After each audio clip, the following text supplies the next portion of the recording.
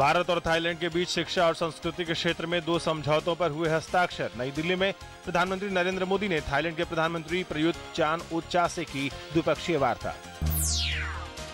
PM Modi ने कहा, Thailand की लुक वेस्ट और भारत की एक्ट ईस्ट नीति के मिलने से दोनों देशों के बीच साझेदारी के उज्जवल भविष्य का रास्ता साफ़, रक्षा और नौवहन के क्षेत्र में सहयोग पर दोनों देशों के बीच बनी सहमति। भारत और नामीबिया के राष्ट्रपतियों ने संयुक्त राष्ट्र सुरक्षा परिषद और उसके प्रमुख संगठनों में सुधार पर दिया ज़ोर। भारत ने नामीबिया के साथ दो समझौतों पर किए दस्तखत। जम्मू कश्मीर के सुपूर में आतंकवादियों के साथ सुरक्षा बलों की मुठभेड़ खत्म। मुठभेड़ में सुरक्षा बलों ने दो आतंकवादियों को मार गिराया। अहमदाबाद की एसआईटी कोर्ट ने गुलबर्ग सोसाइटी नरसंहार मामले के 24 आरोपियों को सुनाई सजा। इनमें 11 दोषियों को आजीवन कारावास की सजा।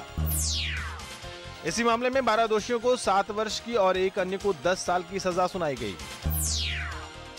बिहार इंटर टॉपर्स घोटाला मामले के मुख्य आरोपी बच्चा राय को पुलिस ने दो दिन की रिमांड पर लिया भारत के पहले स्वदेशी प्रशिक्षक एयरक्राफ्ट हिंदुस्तान टर्बो ट्रेनर 40 ने आज पहली बार बेंगलुरु के एचएएल एयरपोर्ट से उड़ान भरी। विमान निर्माण क्षेत्र में यह भारत के लिए ऐतिहासिक क्षण।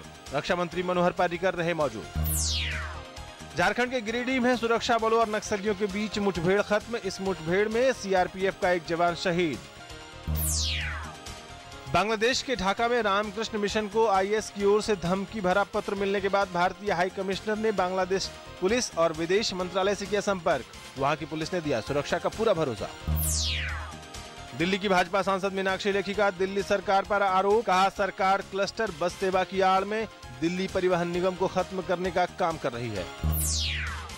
टैंकर घोटाले में दिल्ली सरकार की मंशा पर सवाल उठाते हुए मीनाक्षी लेखी ने कहा कि जिन शीला दीक्षित के घोटालों का नाम लेकर दिल्ली की सत्ता पर आम आदमी पार्टी काबिज हुई, अब वो उसकी जाँच क्यों नहीं करा रही? मौसम विभाग ने उत्तराखंड में अगले पाँच दिनों में हल्की से मध्य बारिश होने का अनुमान जताया, साथ ही कुछ स्थान पर तूफ़ान के साथ आंधी चलने की भी भविष्यवाणी की है। अमेरिका ने परमाणु आपूर्तिकर्ता समूह के देशों से भारत के स्थायी सदस्यता के दावे को समर्थन देने की की अपील। भारत के साथ सैन्य सहयोग बढ़ाने से जुड़े बिल के अमेरिकी सीनेट में सर्वसम्मति से पास होने के बाद आया बयान। इराक की सेना ने फलुजा में इस्लामिक स्टेट के आतंकियों से म्यूनिसिपल बिल्डिंग को अपने कब्जे में लिया। अभी भी शहर का काफ़ी बड़ा हिस्सा आतंकवादियों के कब्जे में। भारत और जिम्बाब्वे के बीच तीन टी ट्वेंटी मैचों की सीरीज़ कल से। पिछले साल हुई दो मैचों की सीरीज़ एक एक से रही थी बराबर। ब्रिटेन में चल रही चैंपियंस ट्रॉफी हॉकी टूर्नामेंट के फाइनल में भारत का मुकाबला आज विश्व चैंपियन ऑस्ट्रेलिया से। ग्रेट ब्रिटेन और बेल्जियम का मैच ड्रॉ होने से फाइनल में पहुँचा भारत।